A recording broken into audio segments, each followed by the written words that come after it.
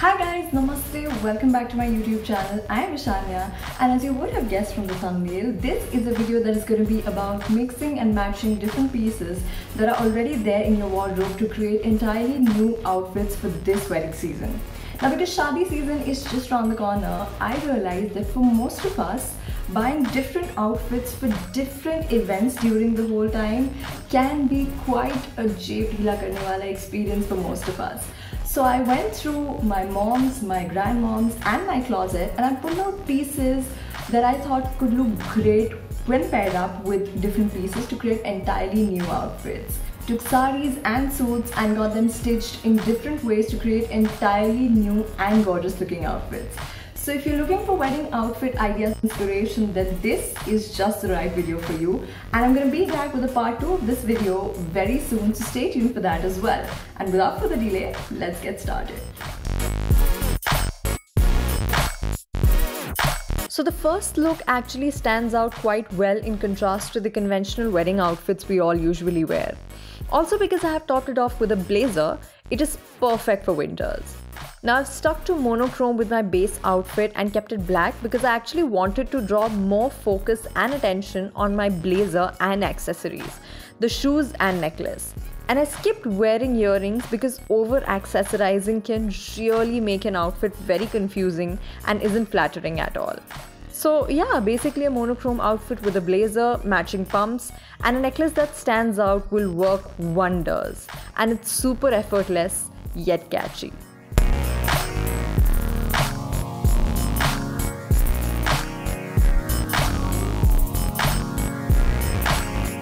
This outfit is inspired by my favorite guilty trend, the skirt plus shirt combination.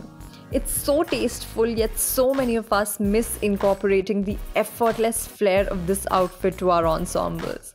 So just pick your favorite long skirt, it could be a lehenga skirt, and pair it up with a shirt in contrast or matching the color of your skirt, whatever goes best with your personal taste and style. Topping it off, I completed this look with again a statement necklace and skipped the earrings to avoid over accessorizing. This could be the perfect outfit for a haldi ceremony if you want the colors in yellow. I also added a small ring in contrast to add to the shadi bling and tucked my hair back from one side, grabbed my favorite pair of heels and voila!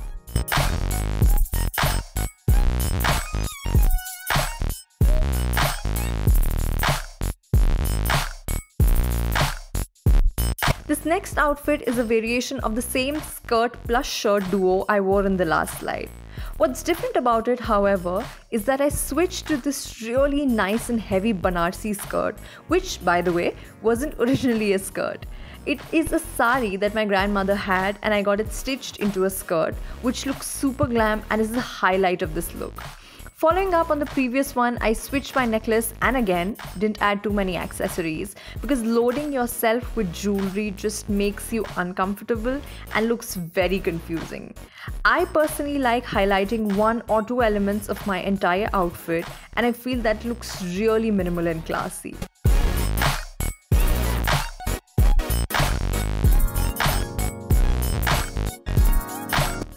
To this next outfit, I have coupled up the same Banarsi skirt with the tissue rose gold textured kurta with a matching dupatta. And the dupatta drape gave me some serious childhood flashback where everyone's style was inspired by Pooh from K3G. Now, because this outfit had a lot of embroidery, I felt that the neck could be left empty, so I decided to balance out the accessorizing by adding a pair of heavy statement earrings instead. That went really well with the ensemble. I also added my rose gold watch to sort of put the look together, and of course, didn't miss adding a nice ring to the look for the extra bling. I love how putting together this outfit was so easy and the result was a complete head turner. So grab a skirt and create yourself a totally new look by simply adding a long kurta and dupatta to complement the look and you're ready to glam up the wedding.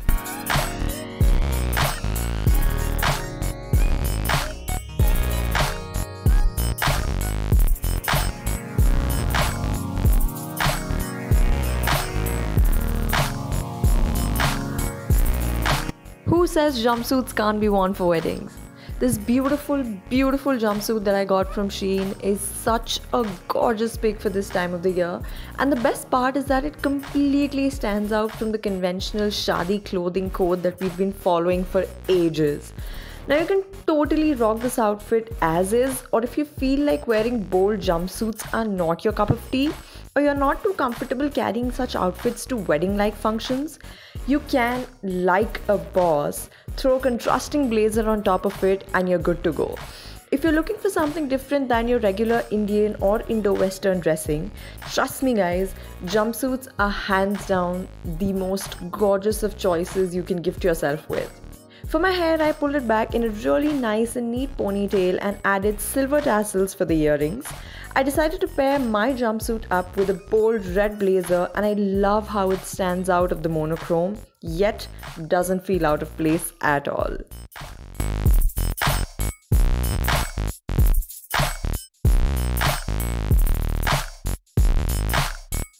So that was it for this video guys. If you like this video, don't forget to share it with your friends, family, relatives, cousins or whoever you're going to be celebrating this wedding season with.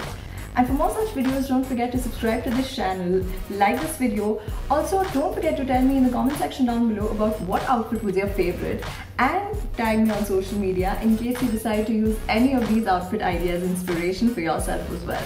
So yes, I'm gonna see you in the next video now, which is gonna be a part two of this video and see you very soon. Bye!